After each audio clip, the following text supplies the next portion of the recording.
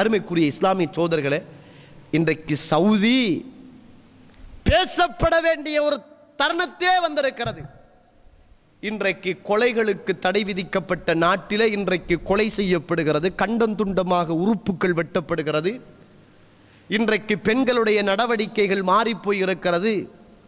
ஏதோ இன்னும் அந்த பூமி வரக்கத் பொருந்திய பூமியாக இருப்பதற்கு காரணம் இரண்டு நபிமார்களுடைய பிரார்த்தனை. ஒன்று பாரக்னாமா ஹவுலகு இந்த மக்கா என்று சொல்லக்கூடிய இந்த நகரத்தை பரக்கத் பொருந்திய நகரமாக நீ மாற்றிவிடு என்று அன்று இப்ராஹிம் அலை இஸ்லாம் கேட்ட பிரார்த்தனை ஒன்று. இரண்டாவதாக ரசூலுல்லா இன்ன இப்ராஹிம் அது மக்கா. இப்ராஹிம் அலை இஸ்லாத்து வசலாம் மக்காவுக்காக யா அல்லா உன்னிடத்தில் பிரார்த்தனை செய்தார். இன்னி அது மதீனா. நான் உன்னிடத்தில் மதீனாவுக்காக பிரார்த்தனை செய்கிறேன். எப்படி? இப்ராஹிம் அலைஹிஸ்ஸலாம் மக்காவுடைய வளத்துக்காகவும் அபிவிருத்திக்காகவும் வரக்கத்துக்காகவும் பாதுகாப்புக்காகவும் இப்ராஹிம் அலைஹிஸ்ஸலாம் பிரார்த்தனை செய்தாரோ? அதே போன்று மதீனாவுடைய அபிவிருத்திக்காகவும் வளத்துக்காகவும் வரக்கத்துக்காகவும் பாதுகாப்புக்காகவும் நான் அவர் கேட்டதைப் போல நான் உன்னிடத்தில் துவா கேட்கிறேன் என்று ரசூலுல்லா கேட்ட பிரார்த்தனை தான் இன்றைக்கும் அந்த சவுதி என்று சொல்லுகின்ற ஒரு நாடு இறைவனுடைய அழிவிலே இருந்து தப்பிக்கொண்டிருக்கிறது என்பதை மறந்துவிடக்கூடாது ஏனென்றால் அண்மையில் படிக்குகின்ற சில நியூஸுகள் ஒன்றை புரிஞ்சு கொள்ளோடும் இருக்கக்கூடிய டிஏ ஜமாத் இருக்கக்கூடிய ஜமாத்தே இஸ்லாமி சவுதி ஏதாவது ஒரு தப்பு செஞ்சா பேனையை தூக்கிட்டு வந்துடுறது. ஆ கண்டீங்களா? ஒன்றை புரிஞ்சு கொள்ளணும் சவுதி குருவானும் அல்ல ஹதீஸும் அல்ல எங்களுக்கு. நாங்கள் அந்த சவுதியை நேசிக்கவில்லை மக்காவையும் மதீனாவையும் தான் நேசிக்கின்றோம். ஏனென்றா அந்த மதீனாவும் மக்காவும் பரக்கத் பொருந்திய நகரம் என்று இறை தூதரினால் சொல்லப்பட்டதினால் அதை நாங்கள் நேசிக்கின்றோம். அந்த இடத்தைத்தான் நாங்கள் முன்னோக்கி தொழுகின்றோம் அதனால் நேசிக்குகின்றோம். அந்த இடத்தில் தான் இறை தூதர் அடக்கம் செய்யப்பட்டிருக்கிறார் அதனால் நேசிக்குகின்றோம். அந்த இடத்தில் தான் இந்த உலகத்தில் தொழுகின்ற எல்லா தொழுகைகளையும் விட சிறப்பான நன்மைகளுக்குரிய இடம் என்று சொல்லப்பட்டதினால் அந்த இடத்தை நேசிக்குகின்றோம். அதை விட்டுட்டு நாங்கள் சவுதி செய்கிற எல்லாத்துக்கும் நாங்கள் சந்தோஷப்படுறாக்கள் இல்லை. அவன் எவன் தப்பு செஞ்சாலும் தப்பு தப்பு தான். மன்னன் செஞ்சா என்ன? மன்னன் மகன் செஞ்சா என்ன? இஸ்லாத்துக்கு விரோதமாக எவன் செஞ்சாலும் அது தப்பு தப்பு தான். கொலை என்பது எவன் செஞ்சாலும் கொலை கொலைதான். அண்மையில் ஒரு பரபரப்பான ஒரு நியூஸ் வெளியாக்கப்பட்டுச்சு. என்னன்னு கேட்டால் ஒரு மீடியாவோடு சம்பந்தப்பட்ட ஒரு எழுத்தாளரை அப்படியே தூதரகத்துக்கு போயிட்டு வரக்க கண்டம் துண்டமாக அல்லாஹு ஆழம் இதில் உண்மை போய் என்னன்னு நமக்கு தெரியாது. எல்லா மீடியாவும் எழுதுது. எல்லா ஏக்கவாதிகளும் எழுதுறாங்க. எதை எழுதுறாங்கன்னு சொன்னால் வஹாபிசம். இதுக்கு வஹாபிசத்துக்கு என்ன சம்பந்தம்னு கேட்குறோம் இதுக்கும் அக்கீதாவுக்கு என்ன சம்பந்தம்? அவன் கொலை செஞ்சானாம் அவனை அவன் வெட்டினானாம் அவனை அவன் அறுத்தானாம் கண்டம் துண்டமாக வெட்டினானாம். மனித உரிமைக்கு எழுது இருக்கின்ற சாசனத்துக்கு எழுது இருக்கின்ற ஐக்கிய நாடு சபைக்கு எழுது அதற்கான உரிமையை பெற்றுக் கொடுக்க சொல்லு நாங்களும் சேர்ந்து குரல் கொடுக்கிறோம் தப்பு செஞ்சால் எவனும் தப்புத்தான் தண்டனை கொடுக்கப்பட வேண்டும். அதனால் இருக்கிற கொள்கை அக்கீதா பிழையாகிடாது. அதை புரிஞ்சு கொள்ளணும் எல்லாரும்.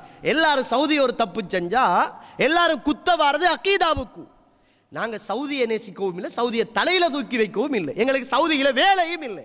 இந்த மன்னர்லையும் வேலை இல்லை மன்னண்ட மகள்லையும் வேலை இல்லை. எங்களுக்கு யாரில் வேலை என்றால் அல் குர்வானும் சுண்ணாவும் அங்கு இறக்கப்பட்டுச்சு.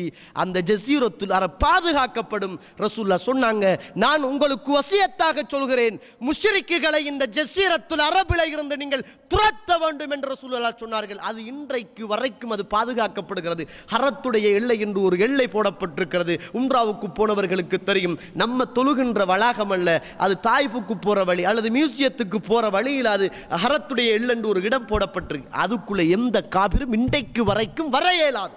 அது ரசூல்லாவுடைய வசியத்து அது பாதுகாக்கப்படுகிறது. அதைத்தான் ரசூல்லா வசியத்தாக சொன்னாங்க. இதுக்கு முரணாக அந்த நாடு அல்ல மன்னன் அல்ல மன்னண்ட மகன் செஞ்சாலும் பிள பிழைதான். அதை நாங்கள் தூக்கி பிடிச்சிக்கிட்டு அதுக்கு ஆதரவு செய்கிறாக்கள் நாங்கள் இல்லை.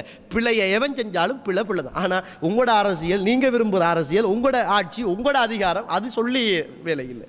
கொள்கையும் இல்லை அக்கீதாவும் இல்லை ஒழுங்கான அரசியலும் இல்லை ஆட்சியும் இல்லை அதிகாரமும் இல்லை. ஆனால் சவுதி ஒன்றை செஞ்சால் எங்களை குத்தவாரு. ஏன் எங்களை குத்தவாருங்க நாங்கள் சவுதி மக்களா?